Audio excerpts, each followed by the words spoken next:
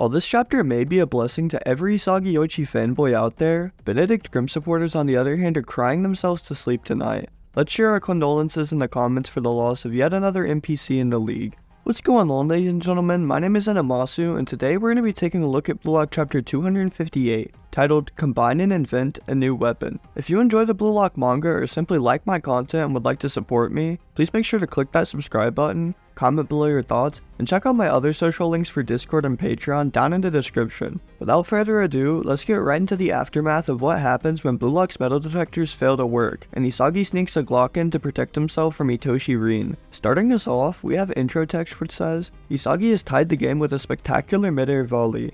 As he leaves Kaiser and Rin in the dust, the world erupts in amazement as the ball smashes into the back of the net. We firstly hear do see another angle of Isagi's shot piercing into the goal, as the announcer seemed to scream out in excitement. We also see the people at home watching the NEL along with their reactions of amazement with friends, family, and even Isagi Yoichi's very first fanboy blown away by this strike. The announcers can literally call this nothing more than tremendous and otherworldly, because with his midair direct shot, Isagi Yoichi has leveled the game at 1 to 1, putting Bayern Munich's very first point up on the board. This amazing double spread celebration panel is shown here too, with Isagi clenching his fist and screaming out in excitement, staring directly into our souls as the reader. Also, this angle of the aftermath makes the shot in celebration all the more disrespectful, because all of his rivals are in the vicinity just left watching and helpless, with Rin and Kunigami even stuck viewing from the ground. Itoshi Rin and Kaiser surely waste no time though displaying their feelings on this goal, as both players take up an entire page to just scream out in anger. While the page itself just screams edgy and emo sports manga, it's even funnier when you realize that while Kaiser's eyes are whited out, Rin's dumbass is his emo bangs covering up his eyes in tears of sorrow. Other people's reactions too are then shown to us, with Karasu firstly just baffled at Isagi's new two-gun volley technique. I would have to say Tokimitsu agrees as well, because he's over here stuttering like a Scooby-Doo character, calling Isagi a monster. Raichi per usual is cementing himself as the vibe merchant of Bayern Munich, because he's getting turned the fuck up for this equalizer. The final two people shown on the page are both Nanase and Shido Ryusei, who seem to be impressed by Isagi Yoichi's continuous evolution. Smirking and singing after any goal as usual, Shido even just straight up says it was a fantastic explosion in his eyes. The tone however has to immediately shift back to emo though, because as Kunigami walks away from Isagi with his back turned, he snarkily tells him to not expect any more passes or assistance from him. He even adds some fuel to their separation by calling Isagi nothing more than an overly dependent egoist, throwing shade using this man's biggest flaw. Isagi however just lets that slide right off, immediately firing back that they'll just continue to duel and devour one another as always. Yo Hiyori however can do nothing but celebrate with a big ol' grin on his face, sprinting in from behind and leaping up onto Isagi's shoulders. All he can ask his buddy for is an explanation on what the hell that shot was, because everyone seems to find it either completely amazing or infuriating. It really just depends what side you're on. Isagi, however, being the humble go he is, just daps up Hiyori while redirecting the compliment right back by calling his pass epic. The two are just super wholesome and amazing on the field, which makes me really happy to see, considering Isagi definitely needs some positive support to counter out all the hate he receives.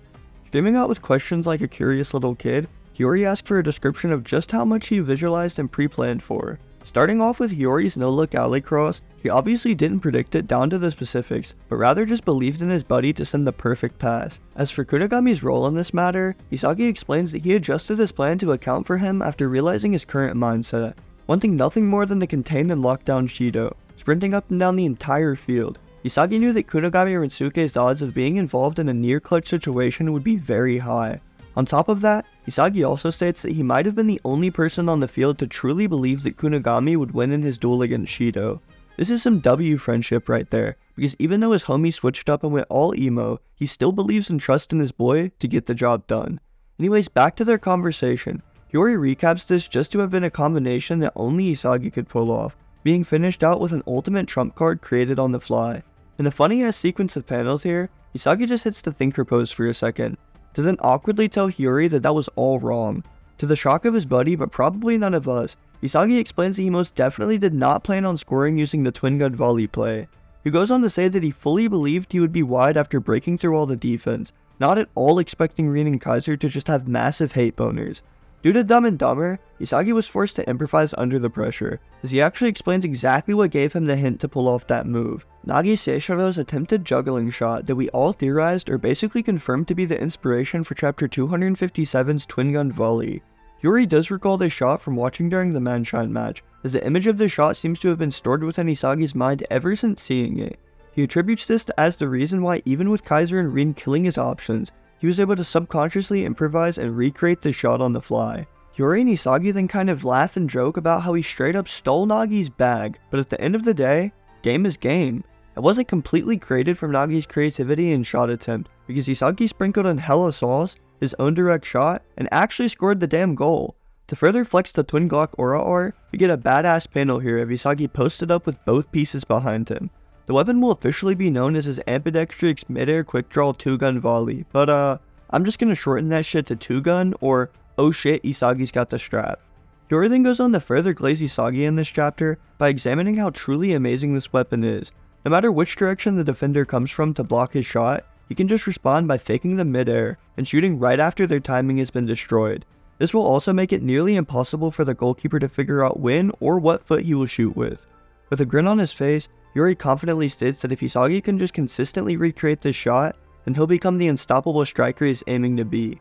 This realization in Isagi's mind immediately causes his eyes to flare with ego and aura, because by combining these two pieces, he's really created an incredible weapon. I was totally expecting a different route for Isagi's development and goals in this match, however combining, recreating, and adapting multiple new weapons is pretty badass too, so no complaints from me. Noel Noa's reaction to the goal is then finally shown too, as all he has to say is just excellent Isagi Yoichi. Staying pretty emotionless per usual, he announces that Bastard Munich will now be switching things up with a formation change. Now that the past two successful attacks have been centered around Isagi Yoichi, Noa believes this formation and system should also shift to be a more Yoichi-centric system. Benedict Grimm is immediately told to get his bum ass off the field.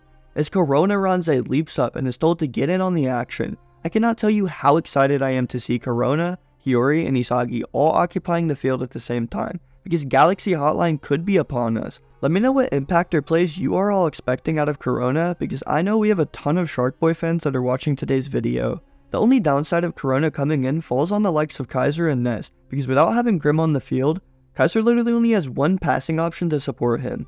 While that's tragic and all, I can't say that anything more can be expected, considering the difference in how Kaiser and Isagi have performed in the last two matches, and also the growth of their dynamic.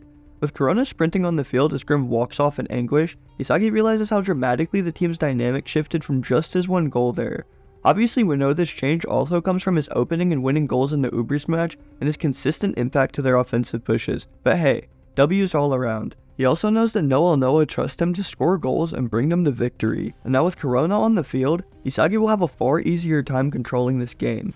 His buddy holds up a peace sign to symbolize the number 2, as he urges Isagi to go with him to get his second goal. Thinking deeper on what will actually happen though, Isagi realizes that if he does score another goal within this game, he'll actually crush Kaiser completely and firmly take over Bastard Munich. If he can just score one more goal after that though, completing a full hat trick, then he'll finally surpass Itoshi Rin and become the undeniable best player in the new Egoist League.